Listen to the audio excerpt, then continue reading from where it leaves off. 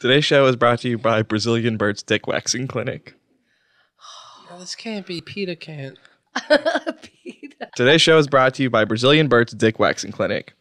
Your hair is everywhere. That's not that's not just a song lyric from mid 2000s emo mainstays dashboard confessional. It's also what your loved ones are saying about your dick.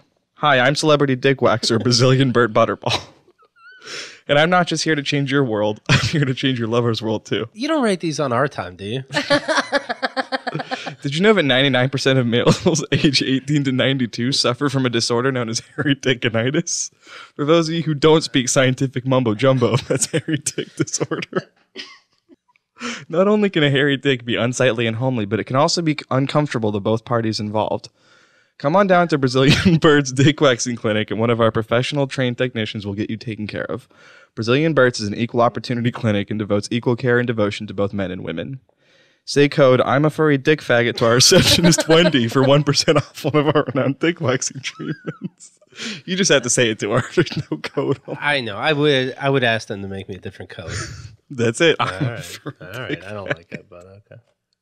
So please, guys, as this Ad stated, 99% of males suffer from hairy dickinitis. It's probably some of you out there. So go to Brazilian Burt's, get your dick waxed. Oh, it says adlib.